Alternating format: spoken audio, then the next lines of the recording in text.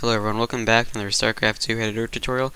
So my other ones had become really popular, um, probably because I posted on Reddit, and um, I did gain actually a lot more subscribers from that, so it seems like people actually want to see more of this. So today I'm going to be going over a little bit of the data. Um, I'm going to make this into more episodes again, just so that it's less intimidating and what's not. So um, we're going to go over data first.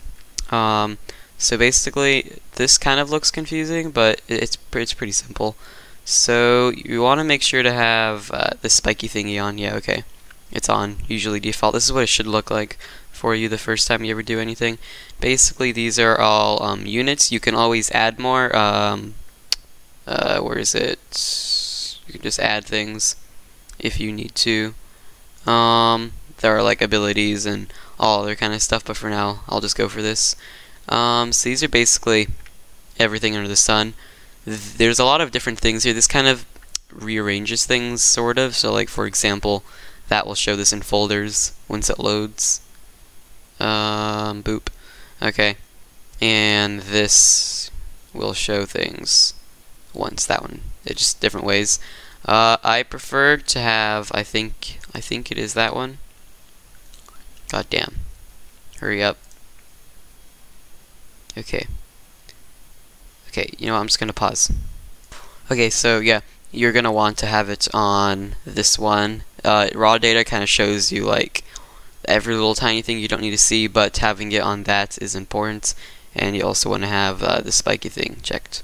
Okay, so this right here, actually, let, let me see. Let's find a Zerg maybe.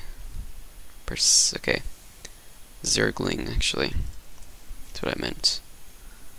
Uh, so basically there is a lot more. This actually right here shows you, actually maybe I'll not have that on, because that shows you every single other one. This will just show you what you need. So basically, that, the, the stuff right here is kind of things you can edit. I'll go over that in a second. So this is basically like the things attached to it. So you can actually click this little guy right here. And don't be intimidated by this, but this is basically everything that's connected to the unit, which is somewhere here. There it is. And there are a lot of different things attached to this. For example, like um, the different the models are basically kind of like animations. So as you can see, that one is just him blowing up. That one's him cut being cut in half. There's also sounds. This I guess when he explodes. Okay, I don't know if you could hear that or not, but um, that's wonderful. And uh, basically, just stuff like that. Uh, we're just going to close that for now. And let me see. This stuff right here is how you view this things. So you can view this in detail view, which kind of shows you like this. I would not recommend doing this because it'll take longer when you switch between different things. But um, yeah.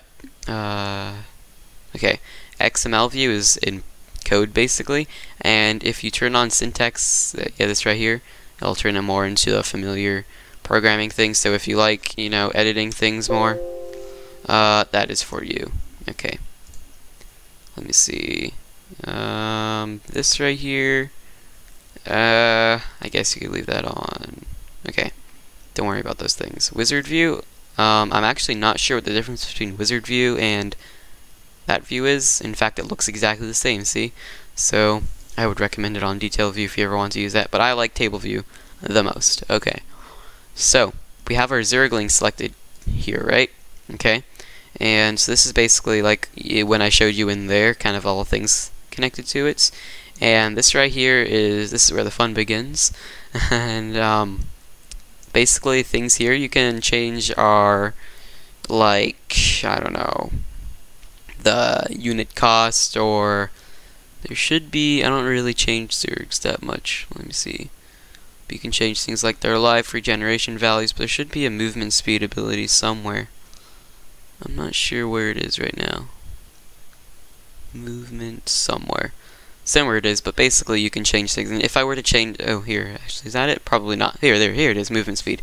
So things that are in blue is basically the default view of what Blizzard did.